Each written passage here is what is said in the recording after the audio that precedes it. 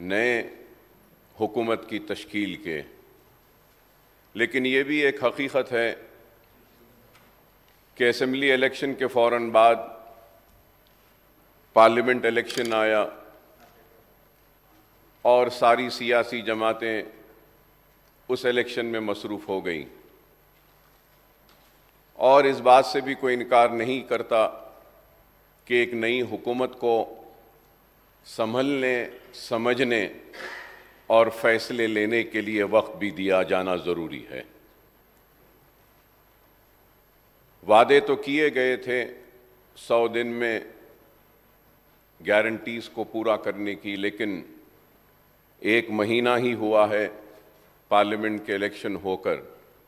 तो मैं अपनी जानब से, अपनी पार्टी की जानब से ये ज़रूर कहना चाहूँगा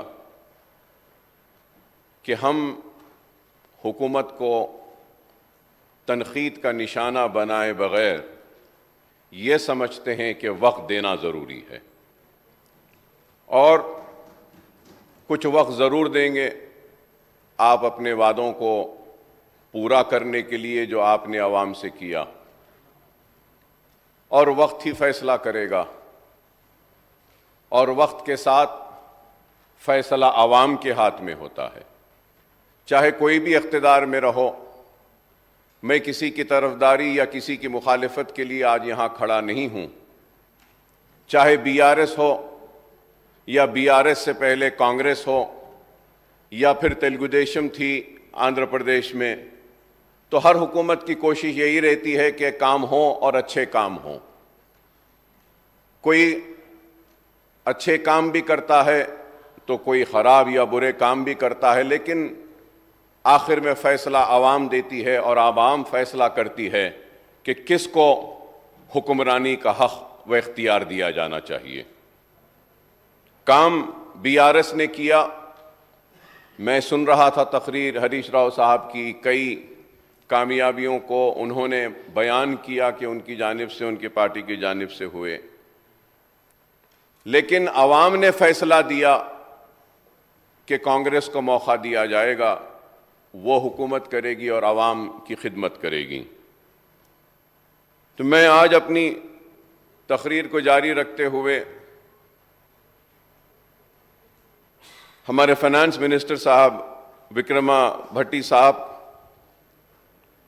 को मुबारकबाद देता हूँ कि वो पहला बजट अपना उन्होंने पेश किया।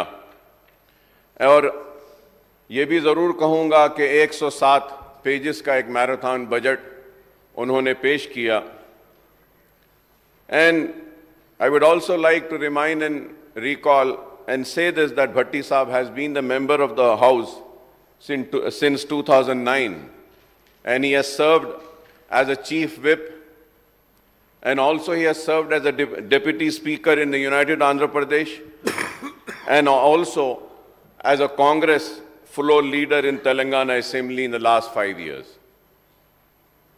He is a man of a wide experience. He has tried to prepare the Telangana state budget to the best of his ability. I may say that he has lot of insight into the finance, financial situation of the Telangana government. Since the formation of the state, as he has participated in the debates in this house earlier under the leadership of Jana Reddy Saab and later as the floor leader of the Congress. Now Bhatti Saab says that 10 years after its formation, Telangana has not progressed as expected. He says that the previous government failed on all fronts and development of the state and the welfare of the people suffered and the state was pushed into a debt trap. He points out that it was a huge challenge for the new Congress government to manage the state, which was in financial shambles. Sir, when I say this, I would also like to say that the financial situation of the state was not hidden. It was very open. Every budget session, we used to debate on that. Every appropriation bill, we used to have a discussion and a healthy discussion. I still remember and recall, I was also in the house when Mr. Jana Reddy Saab was a uh, LOP that time, leader of opposition, I remember him using a sentence and saying that the state is in a financial emergency state. So I, I, I, I don't understand. When I was coming to attend the assembly, sir, I was hearing Harish Rao Saab's speech and then I was also hearing a reply by the finance minister. He was saying, like he was saying in Telugu, if I have to translate, uska matlab ye tha कि आपने तो ऐसा हाल कर दिया कि तनख्वाह देने को पैसे नहीं है। तो सवाल यह पैदा होता है यह सिचुएशन आपको मालूम नहीं था। आपको दिखाई नहीं दे रहा था। या किताबों में लिखा हुआ नहीं था। था।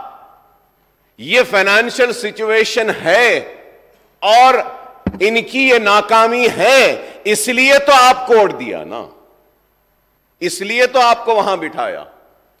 ये फाइनेंशियल सिचुएशन को देखते हुए seeing the financial situation you have promise to the people of the state के we will do this we will do this we will give this we will do that we will give you this whatsoever howsoever the financial state is it is the responsibility of the government to fulfil the promise and I am sure that the Congress government will try its level best and fulfill all the promises made to the government.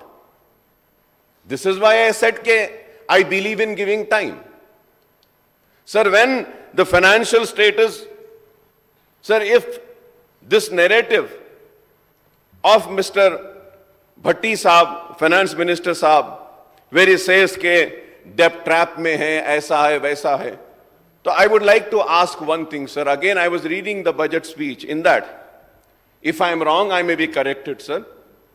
Sir, the state GSDP rose from 4,51,580 crores in 2013 and 14, first year of formation of Telangana. Sir, I'm repeating, 4,51,580 crores, first year of formation of Telangana, to rupees 14 lakh 63,960 crores in the year 23-24. Current prices. Sir, going further ahead. Similarly, the per capita income of the state rose from 1 lakh 12,162 in 2013 and 14 to from 1 lakh 12,162 in